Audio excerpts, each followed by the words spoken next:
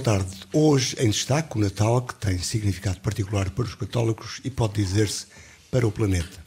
Independentemente das visões que se tenham desta quadra, recorda-se que antes da era cristã comemorava-se o solstício de inverno, que marca também o início da estação e que hoje ainda tem cultores. Alguns dos seus costumes populares e temas comemorativos têm origens pré-cristãs ou seculares e desses alguns, como os povos andinos, nomeadamente incas, aztecas e meias, na América Latina, celebram em junho o solstício.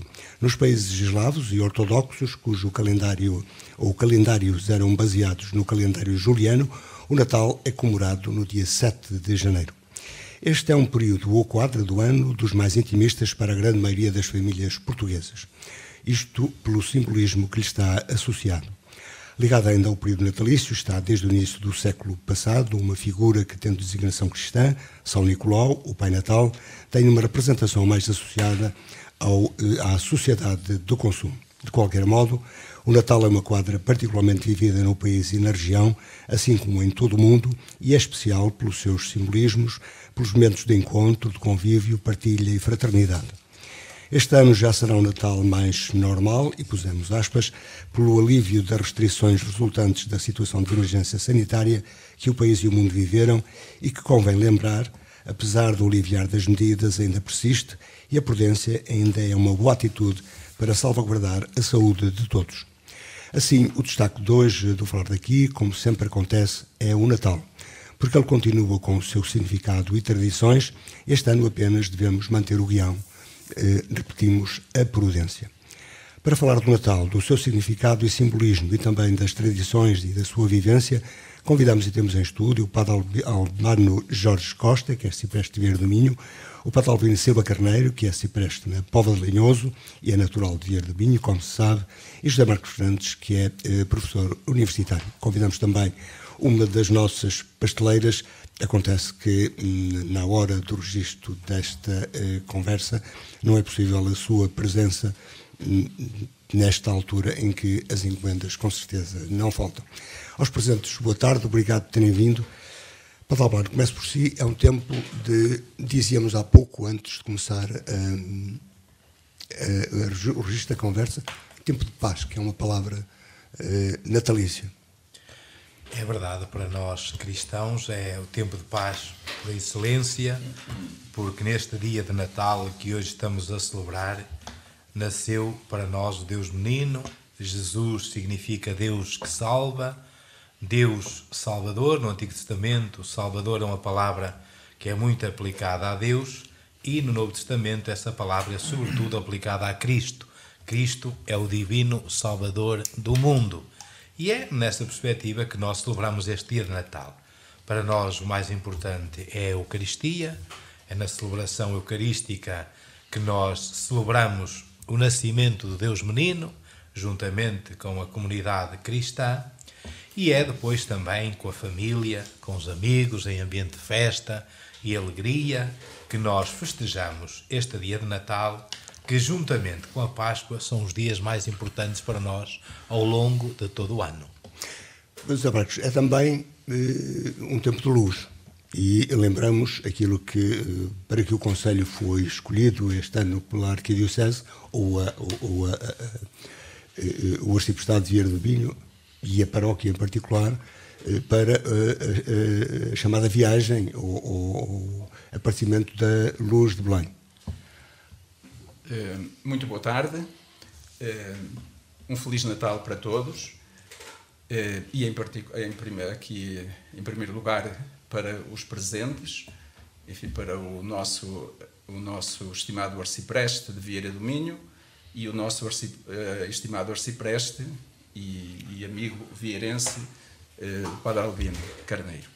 Ora bem, por onde é que nós podemos começar esta nossa. Esta... É luz ou sombra? Ora bem, a luz e a... é uma boa ideia, é, uma boa, é um bom começo para falar do Natal, falar de luz e falar de sombra. Mas acontece que eh, o, o Natal de todos os anos é sempre diferente.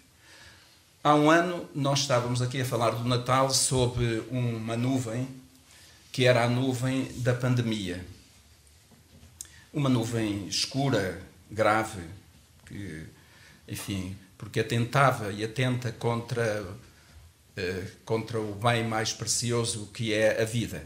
Mas hoje, infelizmente, estamos, uh, estamos a fazer esta reflexão sobre uma outra nuvem, que é a nuvem da guerra.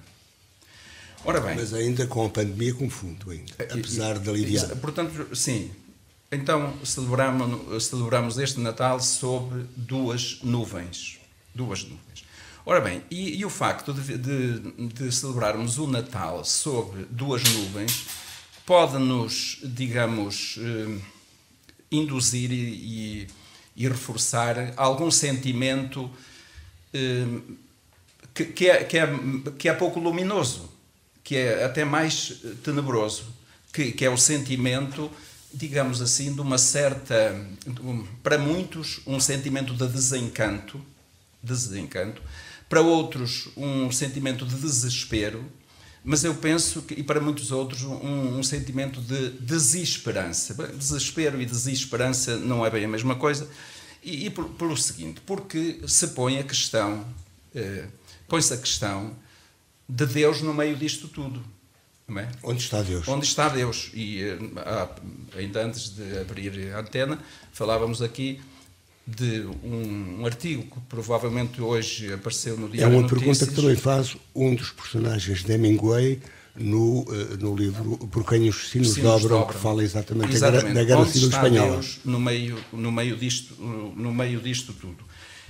E, e esta, estas questões levam pessoas a, digamos, a, a, celebrar o Natal ou a desinteressar-se do Natal. E eu queria começar aqui até por falar de uma, uma experiência, enfim, penosa, que foi anteontem, num lar.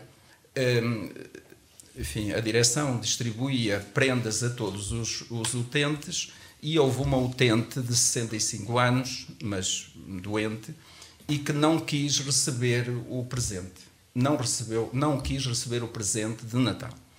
Bom, e depois alguém me disse, e eu, como conhecia essa utente, eh, eh, sentei-me um bocadinho junto dela e, sem inquirir porque é que ela não recebeu, eh, enfim, não, fui, não, não quis ir sondar as razões pelas quais ela não quis receber o presente de Natal.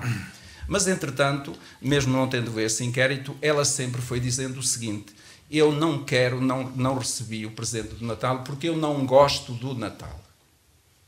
Não gosto do Natal. Também não perguntei porque é que não gosta do Natal.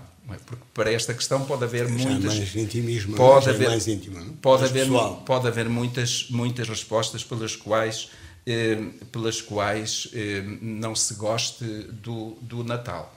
Eh, enfim, muitos não gostam dele por causa da, exatamente por causa daquele aspecto exterior, da exterioridade que o Natal envolve, não é? Outros por aqueles que faltam ou porque já não estão aqueles também, que faltam. Também, e depois também essas tradições, isso assim. Agora, eh, o Zé Luís disse que Claro, o Natal tem muitos significados e tem um significado não cristão e tem o um significado cristão. Ora bem, e a questão está o seguinte, quer dizer, mesmo nos meios cristãos, será que o essencial, a diferença específica do Natal cristão, é, ela é verdadeiramente, digamos assim, eh, valorizada e, e vivida? Porque a minha questão, a minha questão é a seguinte... Terá isso a ver com aquilo que também se diz no princípio, eh, com uh, aquilo que é sugerido como como algo de São Nicolau para o Natal, Pai Natal. Pois, mas aí está, o São Nicolau... A sociedade isto, de consumo... Isto, isto é, é, é, entra nessa variável das tradições, não é? Das, das tradições. E a questão, mas que, enfim, o Spadovano começou por por eh, falar exatamente do essencial, do, do, do, do mistério do Natal, não é? E, e associou, e eu acho que é excelente ter associado o mistério do Natal com o mistério da, da, da Páscoa, não é? O Natal e a Páscoa. Mas realmente eu posso dizer aqui o que enfim, é o princípio e o fim do menino eu posso também, falar à é? vontade, é o princípio e o fim dois, físico do menino não é? dois teólogos que podem podem corrigir mas a questão é esta é que o mistério é só um, e o mistério é o mistério da, da encarnação. E o que, é, o que é isso do mistério da encarnação? É evidente que é, é, o que é que foi o mistério da encarnação? Foi exatamente a entrada de, de, de Deus na história do, dos homens, não é? Ora bem, mas se nós dissermos isto, por exemplo, com esta expressão, que se tratou de uma espiritualização da matéria, isto já é complicado. Dizer que a encarnação foi, foi a espiritualização da matéria, ou seja, de, do corpo, a matéria deixa do, de ser, de tudo, deixa de ser bruta, digamos. deixa de ser, aí está, isso, isso é muito, é muito, muito interessante, é muito interessante porque por acaso, é claro que isto leva-nos logo para o padre Teilhard Chardin. Não se pode provocar um filósofo. Aí. Pois, o, o, o padre Teilhard Chardin, pois, que, que, que, defendeu muito essa ideia e foi muito hostilizado e perseguido por causa disso. Mas eh, isto tem, tem, tem um significado muito profundo, porquê? Porque nós refletirmos por um momento sobre o significado fundamental do Natal, isto é, do mistério da encarnação, eh, da, da, da, da união da divindade com a humanidade, e pensarmos eh, nesta. Isto acho que é importante porque nós não fomos nada educados para isto. Nós fomos todos educados para separar um, a, a realidade, não é? A matéria do espírito. Nós fomos todos educados num dualismo e não nesta na unidade. E isto eh, agora eu quero Mas dizer isso acontece também dentro da igreja. Nós estamos a falar de, estamos a falar um pouco da, da enfim da, da, da, doutrina da teologia e eu penso que isto é importante porque esta o refletirmos sobre esta eh, enfim sobre este mistério da nossa fé porque esta é uma questão é professar a fé sim nós professamos a fé é muito fácil é muito fácil professar a fé. O problema 84% dos portugueses dizem que o fazem. Pois, mas o problema é muito fácil professar a fé. O problema é vivê-la. É vivê-la. E eu que temo, mas só para completar aquele, o pensamento, que é o seguinte, que o refletirmos sobre isto, sobre esta, esta um, assunção da, da matéria por parte de, de, da divindade, de parte de Deus, é, que assumiu um corpo, assumiu um corpo, ele, ele eh, divinizou a matéria, isto, isto confere ao homem, ao ser humano e à atividade humana uma dignidade extraordinária. Quer dizer, a partir do o corpo é sagrado, o trabalho é sagrado, a ciência é sagrada, a tecnologia é sagrada, porque todos estes meios são meios de divinização de, do homem. Agora, a questão, eh, pois, quando digo que é importante refletir sobre o essencial do Natal, porque corremos o risco, falando do Natal cristão, de nós sermos como os seixos de um rio, pedras de um rio, ou, ou como hoje li, li não, hoje não, li num, um livro que, acaba, que acabou de sair, o Papa Francisco como filósofo, e que tem um excelente prefácio do dom do Bispo Auxiliar, do Dom Nuno Almeida Dom Nuno Almeida, que ainda é bispo auxiliar de, de, de, Braga e que tem um prefácio muito interessante e que, em vez de usar aquela metáfora que usou Gandhi, que diz que os cristãos são, são como as pedras dos rios, do rio, eh, há dois mil anos que a água está a passar e, e molha-os por fora, mas por dentro estão secos. Isto é, e esta é a questão. E eu, E aqui o Nuno Almeida fala de outra metáfora que é do submarino. Quer dizer, um, nós, o cristão pode ser como um submarino que está lá nas profundezas Mas o que está seco é a mente. Mas o que estará seco é a mente. Exatamente, o que está seco é o interior. E esta questão é da, é da, da exterioridade.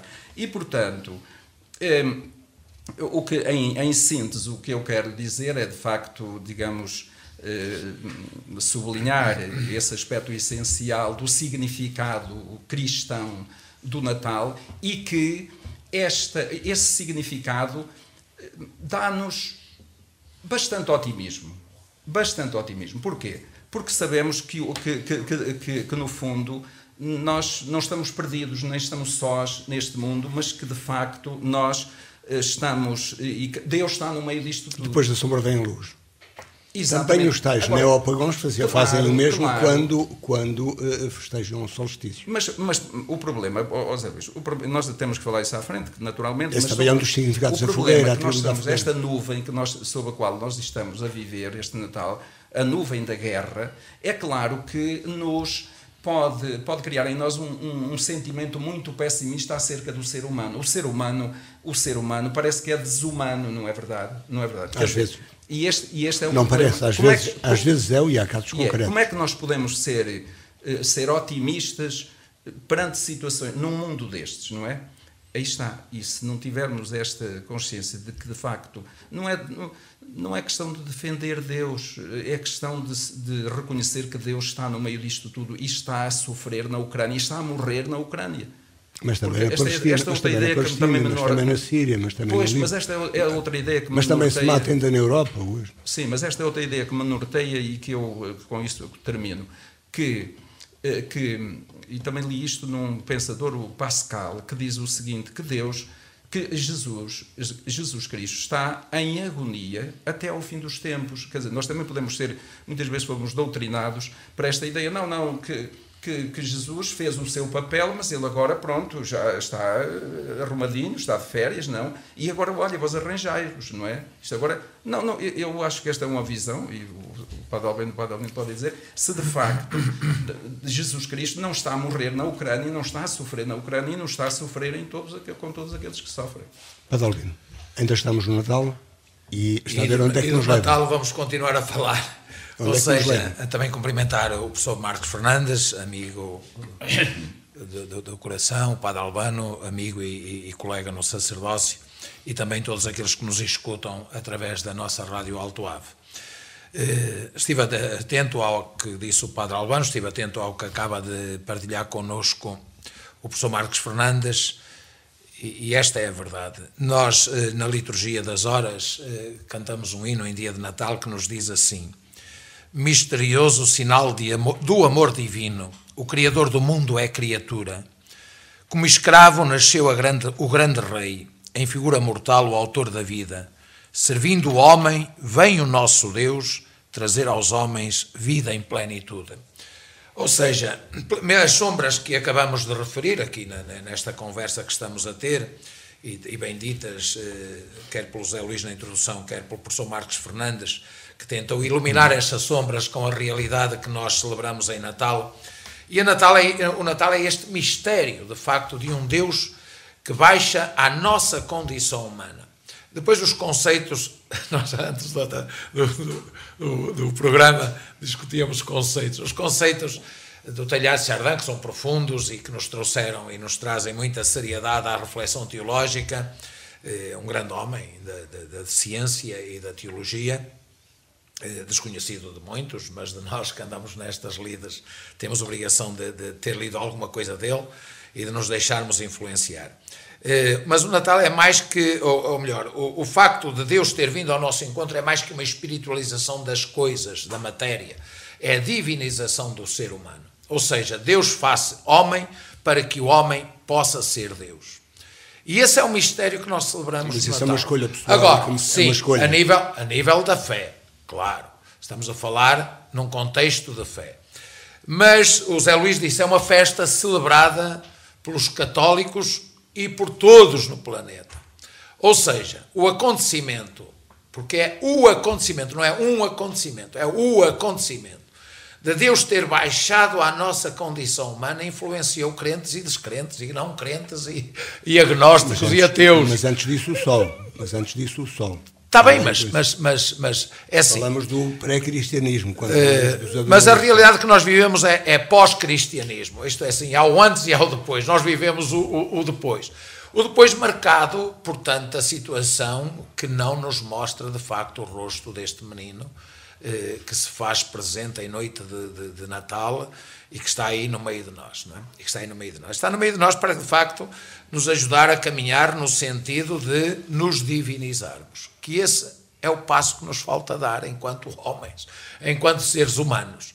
E, e- e enquanto não humanos. chegarmos lá, Precisamente por isso, porque somos humanos. Sim, porque somos humanos e somos limitados, mas ele veio iluminar também as nossas, as nossas limitações, as nossas fragilidades, as nossas fraquezas. Mas vamos continuar a ser fracos. A começar por mim, vamos continuar a ser fracos. Mas, a pensar ser melhor. Espírito, Mas o- a pensar ser melhor, sempre. sempre o desejo de sermos sempre melhores. Mas o espírito da presença de Deus no meio do homem, um Deus que baixa. Eu, eu- eu, eh, estava a ouvir atentamente o professor Marcos Fernandes, porque eu sou filho de Paulo da Cruz. Paulo da Cruz olhou, o fundador dos Passionistas, olhou. eu Hoje sou padre diocesano, mas Paulo da Cruz olhou a, a realidade do mundo do século XVIII, quando ele viveu na Itália, e, e olhou-a desde essa perspectiva da paixão sofredora de um Deus que continua a sofrer na realidade humana. E contemplando o crucificado, ele via no crucificado os crucificados do mundo.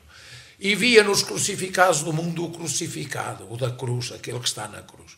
E por isso a cruz também. E é desde a cruz que nós temos que ver o Natal. Isto, o, o nosso, provavelmente, deixem-me pôr entre, entre aspas o, a palavra erro, provavelmente o erro, também em, em termos de reflexão teológica, tenha sido nós vermos o Natal como uma festa da ternura que é, é? daquele menino que nós contemplamos e que nos faz transpor para a realidade do divino. como é o nascimento, como é o, nascimento, nascimento, como qualquer nascimento. Eu disse, eu acabo de dizer há bocadinho na minha reflexão da missa do dia de hoje, não é? Qualquer nascimento nos deixa estupefactos e, e nos interroga, que mistério. O, o, nascimento de João Batista eh, foi, foi, foi alegria para a família, mas foi alegria para todo o mundo conhecido de então ultrapassou as montanhas de Israel, de Belém, de Judeia, de para ali fora, porque foi motivo, mas motivo porquê? Porque ele veio para anunciar outro nascimento, e o outro nascimento é este Deus que nós celebramos em Natal.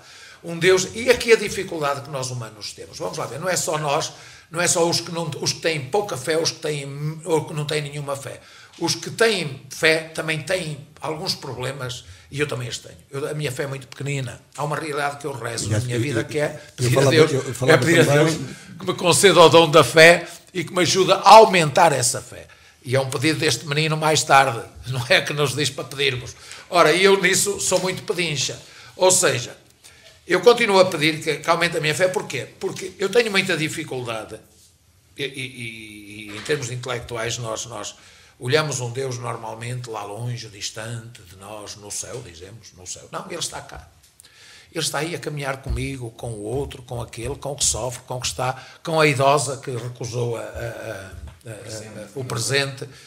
E, e, com aquelas pessoas que também me dizem. Está com a fé. E, e, aqui na nossa está zona. Está com a fé.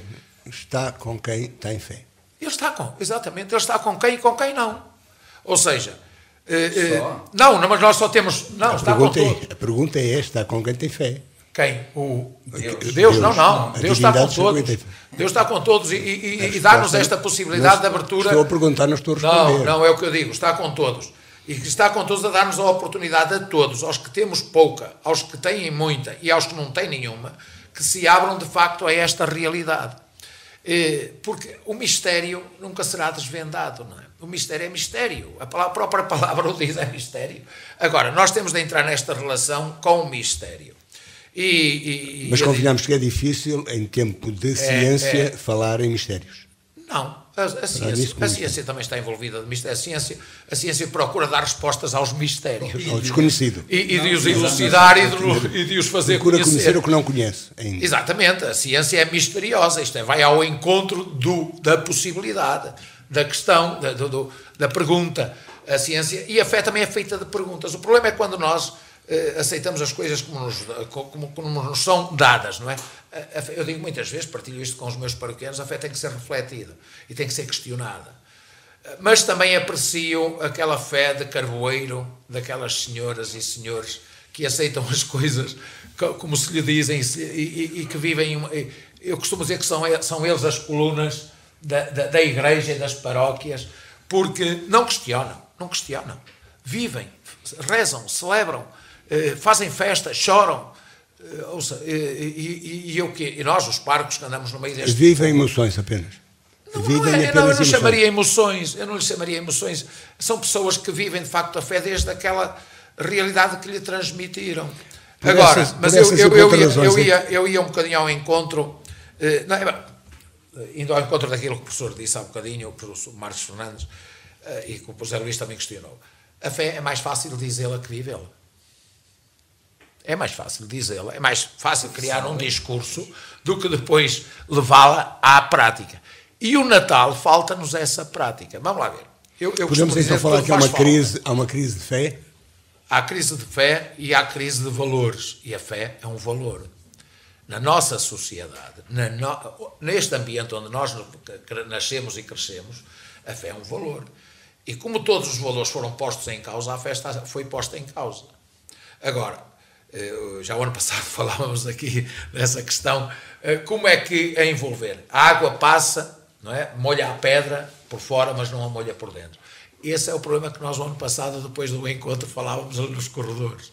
É o tal embrulho que nós fazemos muito bonito para as prendas de Natal e que não somos capazes de fazer para a transmissão dos valores da fé.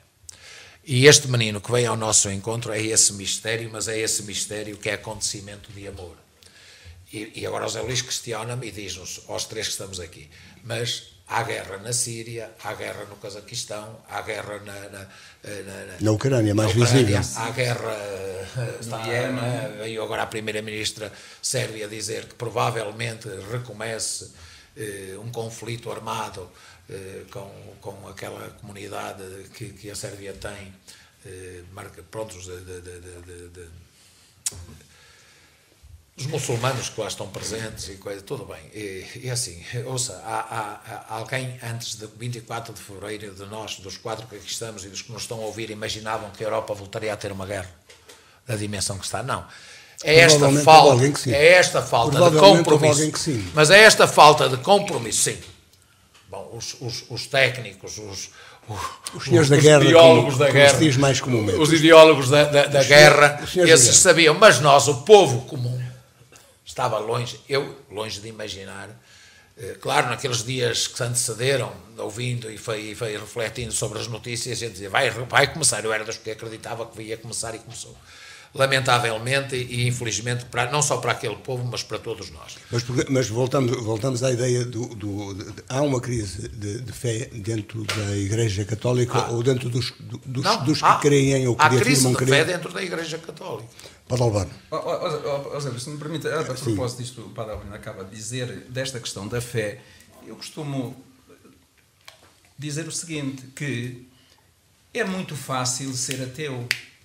É muito fácil. O ateu não tem problema. Será que é? É muito é. fácil ser ateu. É muito fácil ser beato, ser, ser fanático. Não é?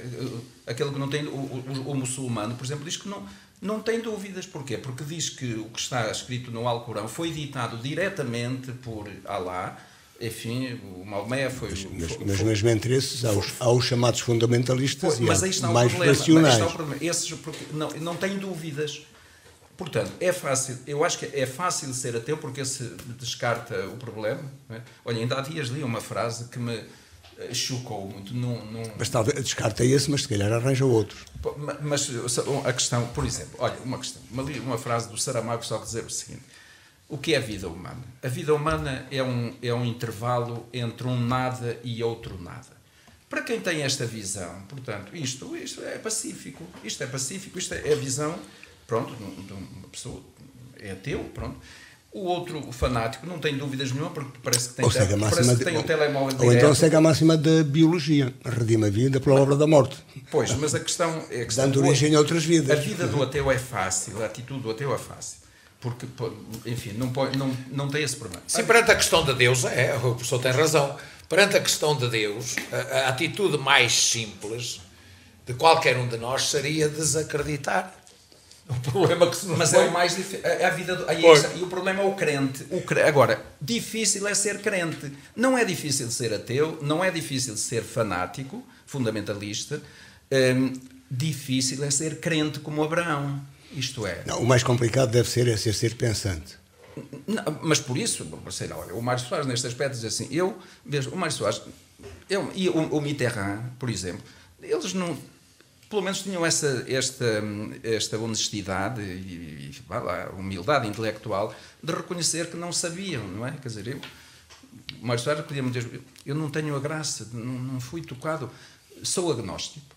É uma atitude louvável. Mitterrand diz, vivi toda a minha vida nesta angústia e quando lhe perguntaram o que é que gostava de ouvir na hora da morte, é, era que sentir que uma mão tocava na dele e lhe dissesse, maintenant tu sais agora sabes. Andaste à procura, sabes. Esta, esta é a atitude do crente, do, do, daquele que procura. Bem, mas desculpa, Padre Alberto. Mas é Cardoso Pires também teve uma experiência muito interessante.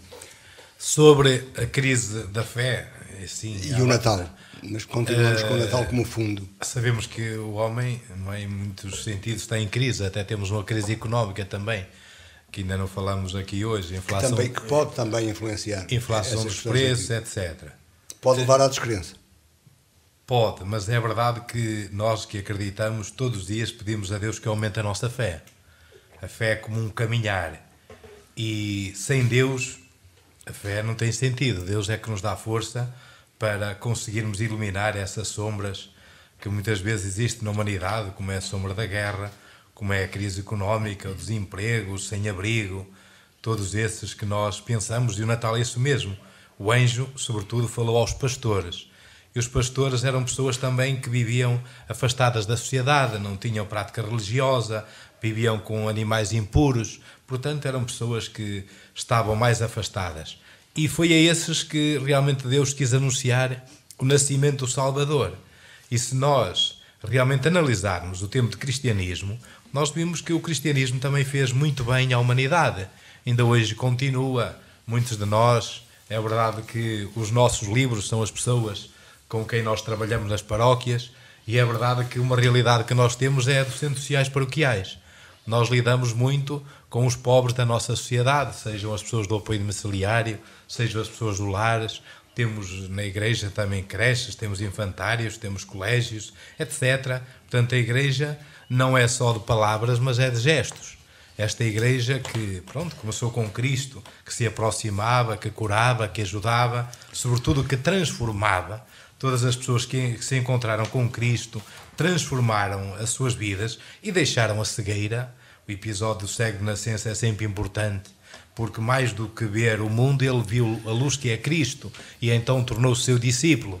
E então é verdade que, embora realmente as nossas cidades, as nossas aldeias estejam muito iluminadas, mas também muitas vezes nós vivemos como cegos, não queremos também ver esse ser grandioso que é Jesus Cristo, esse menino que veio como uma esperança para a humanidade, como o príncipe da paz, e então escolhemos outros caminhos, como é o caso da Ucrânia, o caminho da guerra, e vemos que a guerra traz-nos muito sofrimento, traz morte a um lado e ao outro, tantos jovens que podiam durar tantos anos ser felizes, constituir famílias, estão a eh, morrer.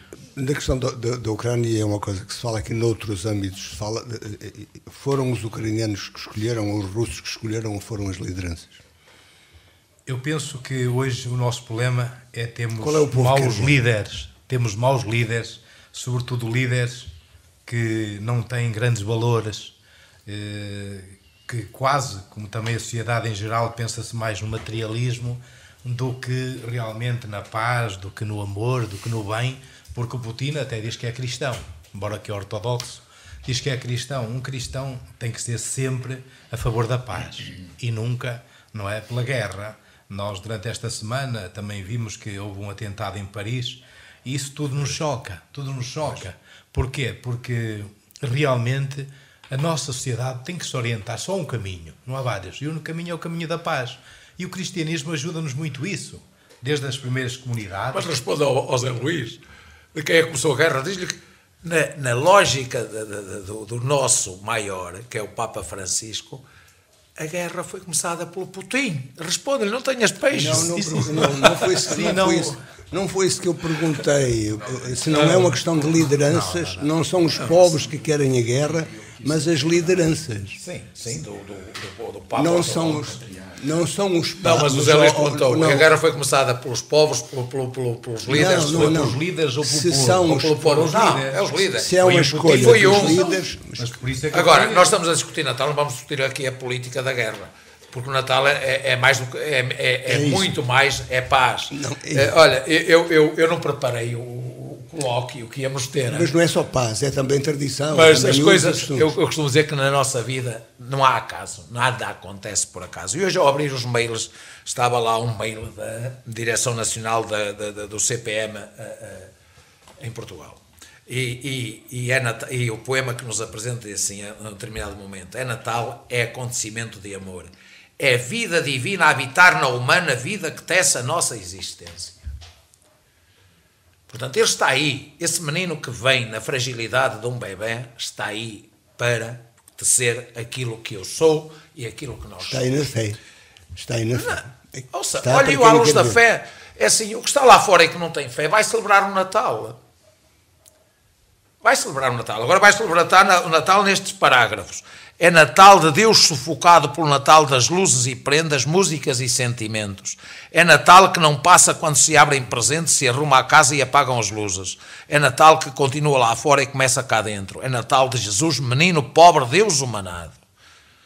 E antes Mas mesmo- diz, mas- e mas antes mesmo diz, nesta altura, eh, para Albino, mas mesmo nesta altura independente, e tendo em conta as tradições do Natal, mesmo nesta altura as pessoas são mais generosas, Sim, procuram ser mais generosas lá, lá está, aí vamos para o sentimento. É o tal sentido É um, te- é um tempo em que o sentimento e, e a nossa condição de seres humanos se exalta. Isto é, vai para, encaminha-se de alguma forma para o bem. E É por então isso, uma e quadra por especial. isso, É uma quadra isso- especial, não é? E por isso é que o cantor cantava Natal, não é? A canção. É sempre que a gente- que um é homem quiser. Que um homem quiser. Ora, só que nós não queremos que seja Natal todos os dias. Mas Deus quer. Ou queremos que seja Natal. Eu não sei se queremos. Eu acho que não, porque depois como- temos- Da maneira como as pessoas o vivem, cada um. Nós, quando digo nós, não digo eu, tu, ou, ou o Zé Luís, ou o Padre Albano, ou o professor Marcos Fernandes. Mas lá está, todos temos uma cota à parte. Eh, Se nós só podemos mudar um bocadinho, também podemos influenciar negativamente um bocadinho. Com as nossas atitudes, com as nossas palavras, com os nossos discursos.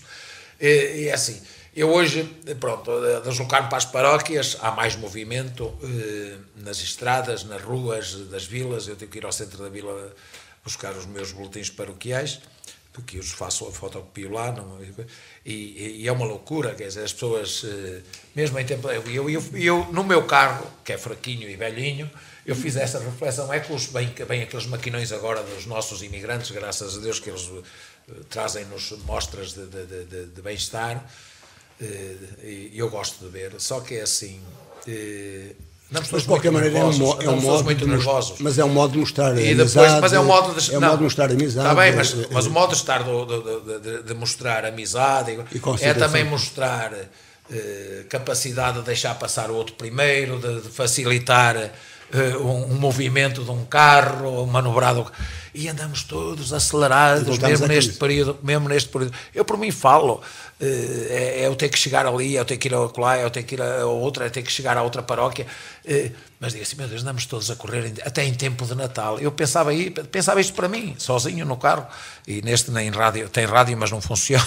E, e, e, e- e digo assim, e pensei isso para mim, disse, tudo nervoso, tudo a querer passar em primeiro, eh, quando o Natal é muito mais eh, serenidade, calma, paz, alegria, bem-estar. que chega nos momentos. E, e é como diz o Zé Luís, depois vem, vem essa parte sentimental também. Porque é que nós fazemos as grandes campanhas solidárias agora na época do Natal? E temos aí uma à porta que eh, a nossa igreja em Portugal eh, eh, nos manda que façamos e que pede aos cristãos, e aproveito para o anunciar, eh, na certeza de que os meus colegas aqui no Cipestá também o farão. Nós na Póvoa já acertamos o domingo do peditório, que é ir ao encontro dos, mais uma vez, dos ucranianos, e vocês dizem, porque não de outros?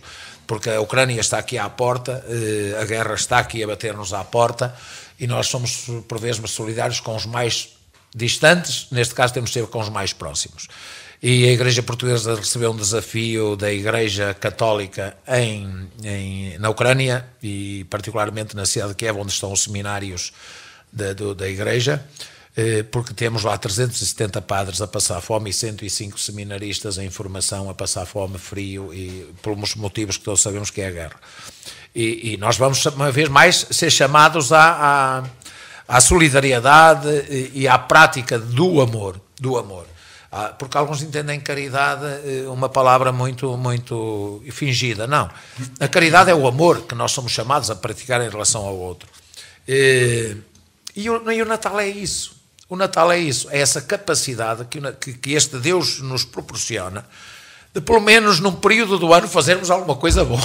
Fazermos alguma coisa boa. E- e- Agora, eu e- já fui mais e contra. expectativas melhores Eu já fui mais contra este movimento de- de- das prendas, do, seja, passa por tudo. E o Papa, e o Papa dizia-nos na quarta-feira passada, na, na, na, na catequese eh, semanal: que fôssemos capazes de dizer não deixem de celebrar Natal, não deixem de viver o Natal com alegria, apesar da guerra e dos resultados da pandemia, que ele tocou também no, no assunto, mais uma vez, eh, chamando-nos a atenção para termos cuidado, e devemos ter cuidado, como se disse na introdução, eh, mas disse, mas façam um esforço por comprar menos uma prenda, ou então uma prenda mais barata. Ele não disse, não deixem de dar prendas, porque nós algumas vezes vamos para os tais radicalismos, oh, é prendas e tal, está bem, mas é prendas, mas faz parte, faz parte, e tudo faz falta, é movimento, é, é a riqueza que se produz, é dinheiro, é trabalho, é tudo isso que está o caso envolvido do, o caso com, do, no, o com caso o consumo. do- Pronto. Do, convidado que não podemos ter aqui, do representante, que, que em princípio para nós representa. Ouça, mas eu hoje entrei numa pastelaria. Que é, que é quem está no Eu hoje entrei numa pastelaria os também bolos- para comprar os uns- bolos uns- tradicionais de Natal.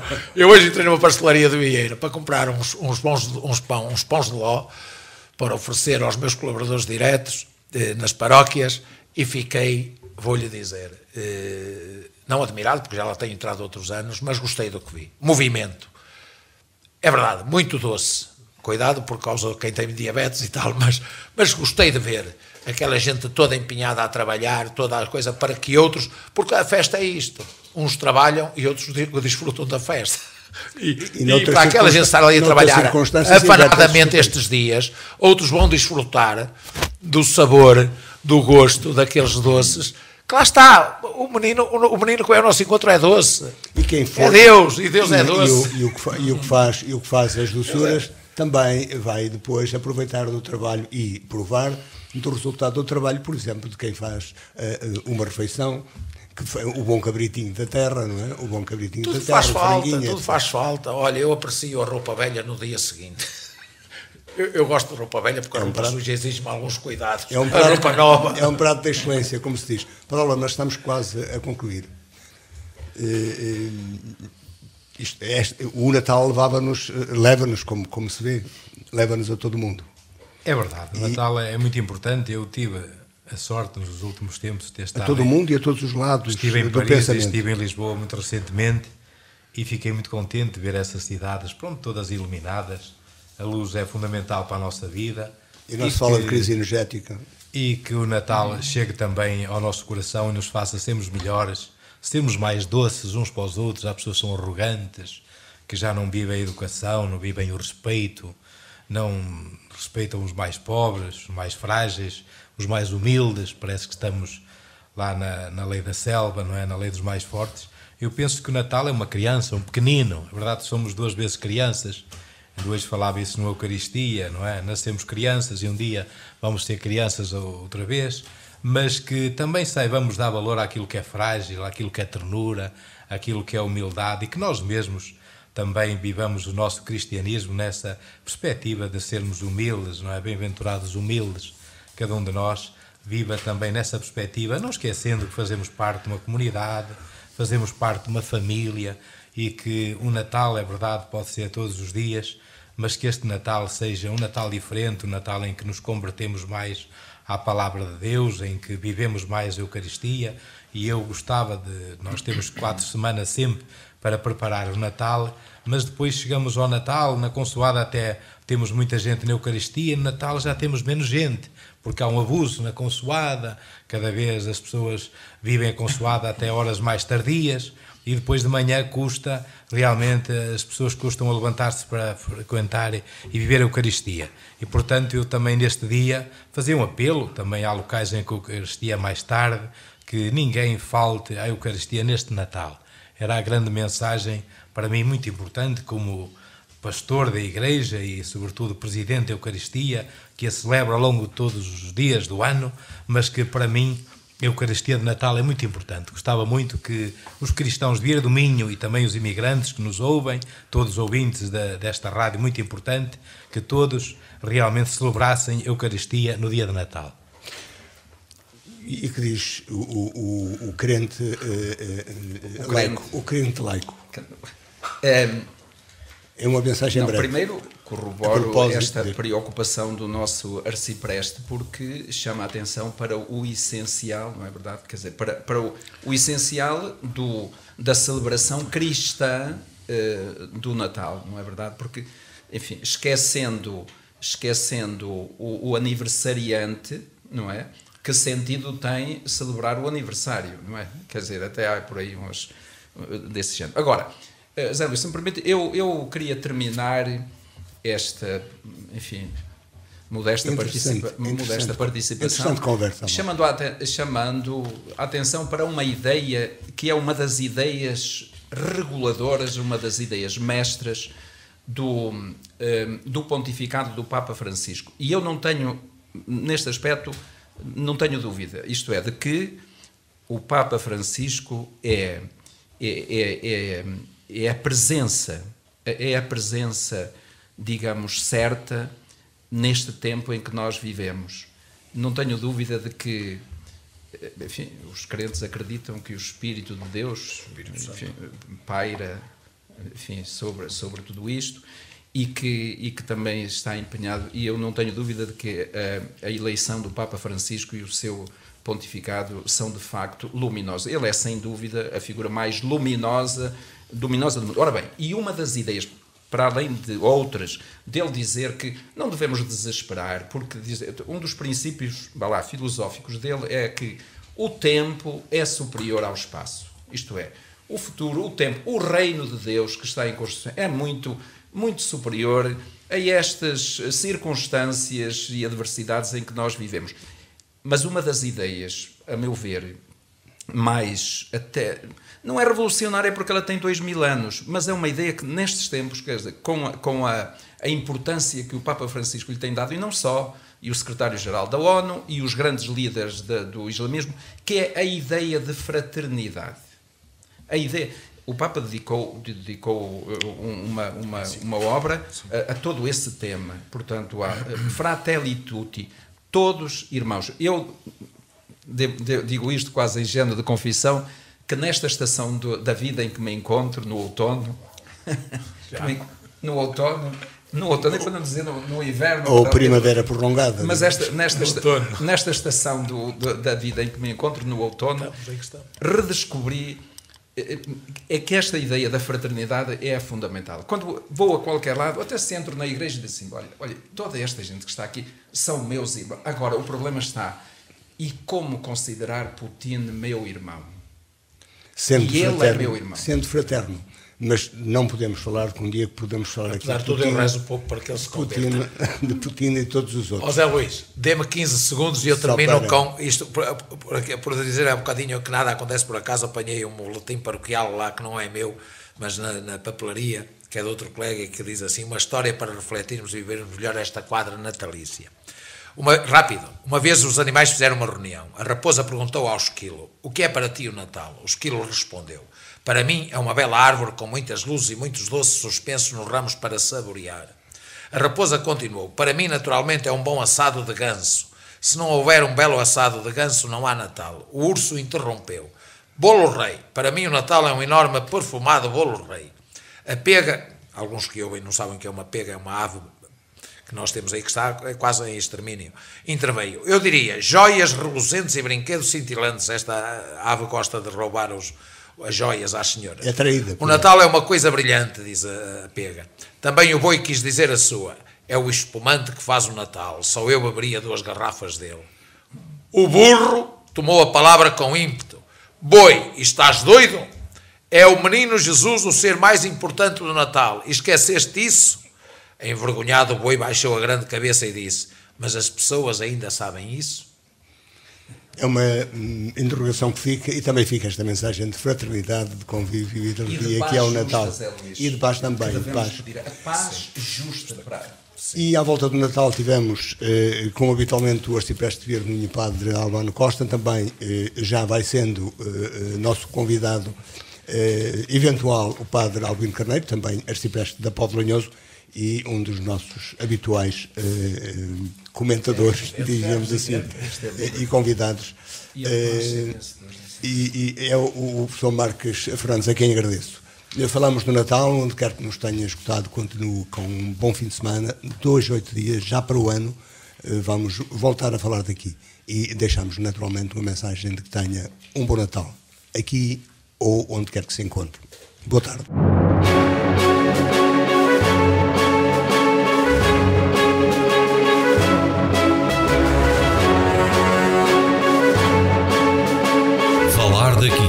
Região em Foco.